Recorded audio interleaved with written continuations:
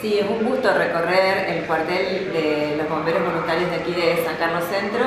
Al igual que otras localidades de las colonias, debo decir que en las colonias los bomberos voluntarios le ponen mucha garra realmente en todo nuestro departamento para tener estos hermosos cuarteles e instalaciones. Acá en San Carlos Centro no solamente tienen eh, una infraestructura muy buena, sino también muy buenos vehículos y lo más importante que son las personas. Las personas tanto de la comisión directiva como el cuerpo de bomberos y bomberas eh, realmente muy capacitado y, se nota que toda la comunidad nos tiene en muy alto valor porque también toda esta infraestructura es posible gracias a que toda la comunidad está comprometida. En cuanto a, estas recorridas, ¿cuáles son las eh, necesidades que más se reiteran dentro del ámbito de los cuarteles de bomberos voluntarios o las consultas que más le realizan en su visita? Bueno, un tema eh, que relevamos en todos los lugares donde vemos eh, bomberos voluntarios eh, son los temas de los costos, sobre todo de personal que atiende emergencias, por ejemplo, el servicio de ambulancias, eso es algo que es compartido como problemática con otras localidades y que creemos que tiene que tener una solución integral. Y muchos otros costos que vienen del propio quehacer de los bomberos, tienen que salir a atender emergencias, fuegos, y bueno, eso tiene un costo, un gasto de, los vehículos, se deterioran y bueno, estar reponiendo eso son costos constantes y bueno, toda la comunidad, por más que apoya, también necesitan un apoyo del gobierno. Eh, ¿Cree que existe la posibilidad de trabajar en esta temática y que del gobierno o desde el gobierno se, pueda eh, realizar alguna intervención, alguna ayuda en cuanto a esta temática? Yo creo que hay que encontrar soluciones innovadoras.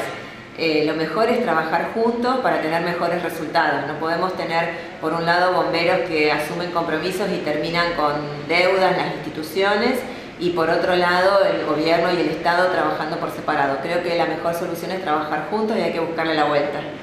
Daniel, recibiendo en esta oportunidad a, la diputada, bueno, también aprovechando la oportunidad para dar a conocer la realidad que, que atraviesa Bomberos aquí en la ciudad. Buen día. ¿Qué tal? Buen día. Sí, realmente tengo que agradecer la visita, Claudio que la ha organizado. Eh, lo importante de esto es que conozcan la realidad. Uno por ahí, las instituciones de bomberos, como decía Erika, eh, siempre tratan de funcionar, siempre tratan de tener los elementos necesarios para atender la emergencia, pero a veces para poder tener todo eso el costo es altísimo. Entonces, bueno, uno trata de buscar todos los recursos necesarios para llegar a lograr tener el equipamiento necesario para poder hacer, atender la emergencia de la mejor manera posible.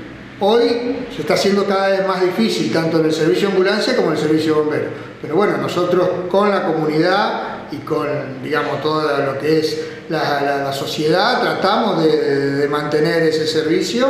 Y bueno, las visitas de todo lo que sea diputados, senadores todo eso, ayuda a que eh, vean la realidad y que se reconozca a veces cuáles los pequeños detalles que faltan para poder mejorar ese servicio. Eh, escuchábamos en la recorrida eh, el costo que tienen ¿no? diferentes eh, tipos de insumos, los trajes que, que, deben afrontar cada vez que se incorpora un bombero voluntario. ¿Cuál es el mismo para que la gente también lo conozca? Mirá, nosotros hoy le decíamos a Erika que, por ejemplo, un chaquetón y un pantalón, que la parte mínima de, para equipar un bombero sale 1.100 dólares. Nosotros ya lo hemos repetido millones de veces. Hoy para poder equipar un bombero con el casco, con, las, con los borcegos, con las botas, con el chaquetón, con el pantalón, con todo te van 1.800, 1.900 dólares. O sea, eso es para que el bombero empiece a trabajar. Después hay un montón de costos fijos o de costos que van adicionales, porque vos tenés que tener el equipo de radio para que ese bombero esté comunicado con la institución, vos tenés que tener la, ropa de fajina que se le llama, o sea que no solamente no termina solamente en lo que puede ser eh, el pantalón y el chaquetón. Después, bueno, tener los elementos necesarios para hacer el rescate o, hacer, o trabajar en el incendio, que es todo costo. Hace pocos días hemos mostrado una imagen de equipamiento que se compraron por 3 millones de pesos y vos por ahí lo ponías sobre una mesa y eran 3 millones y medio de pesos, o sea que por ahí eh, el costo es alto y el equipamiento no es tanto, pero bueno, para nosotros en ese momento fue una inversión muy importante porque era lo que necesitábamos. Pero acá en Bombero para poder seguir funcionando de la manera que nosotros pensamos, es día a día que tenés que invertir. Bueno, eh, resaltar la importancia entonces de estos encuentros para golpear puertas y pedir soluciones ante esta problemática y también resaltar la importancia de la ayuda y la colaboración y acompañamiento de la sociedad, ¿no? con su cuota societaria, eh, adquiriendo los diferentes bonos contribución, los bingos y estando al pie del cañón, si se quiere, para la institución. Sí, yo digo que el alma mater de, instituciones esta es la sociedad. La sociedad es la que te ayuda siempre, que vos salís o vendés el pollo, o vendés el alfajor, o vendés el numerito, o lo que sea, siempre te ayuda.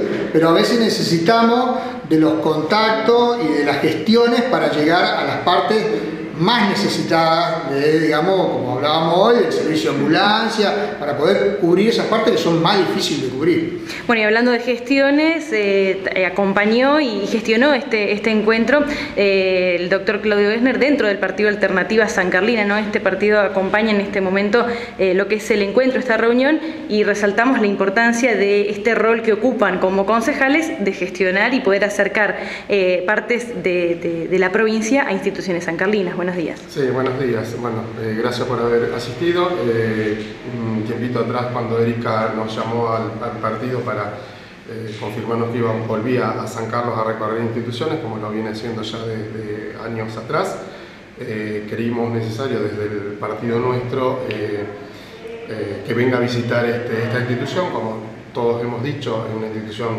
añeja que viene creciendo mucho, pero bueno, tiene muchas necesidades que eh, por ahí la parte política provincial no las viene cubriendo y bueno, eh, queremos por ahí o queríamos ser un poco desde el Partido de San Carlina el nexo entre todos para poder solucionarle los problemas a ellos. Bueno, y la participación de estos encuentros también da material de, trabajo y de debate de cara al trabajo en, comisiones, en grupo que se hace por parte del partido aquí en la ciudad. Exactamente, estamos ahí eh, con los otros integrantes del bloque de concejales este, eh, haciendo unos proyectos para presentar ahora a futuro para eh, ver eh, de conseguir beneficios para, para el cuartel.